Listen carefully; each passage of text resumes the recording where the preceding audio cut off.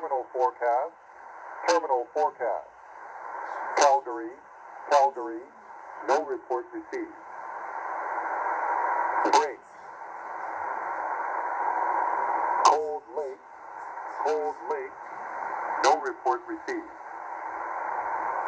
Break. Winnipeg. So this is the uh, Trenton Military in Ontario, Canada, um, on 6754. Tuning a single sideband with XHDATA is not that difficult, but it requires a little bit of knowledge of tuning around. A lot of people are unsuccessful. So let's just say that I don't know the signals here, and I'll move away from it, and I'll be here, lower in frequency. So now I'm going to go up, and I'm going to mess a little bit with the fine tuning so that it's off. Now let's uh, go up and let's pretend that I'm tuning in uh, sideband, which of course is activated by the SSB button. Remember that to change between upper and lower sideband just below the SSB button, you've got the uh, info button that changes from lower to upper sideband. Remember that outside of the amateur band, pretty much everything is sideband. And you want, of course, to tune in very fine increments of at least 1 kilohertz, not big jumps of 5 kilohertz. So I've heard something now, it's on 6754. The button on the right does the fine tuning.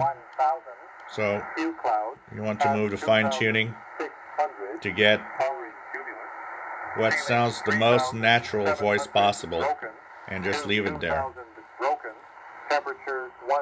Contrary to a lot of radios, you might need to readjust on other signals on different frequencies with the uh, fine tuning. So this is uh, Trenton Military uh, Weather Station in Trenton, Ontario, Canada. Visibility 2-5, few clouds at 3,500, 9,000 scattered, ceiling 10,000 broken, 18,000 broken, 2 1,000 broken, temperature 9er, dew point 5, altimeter 3007. Break.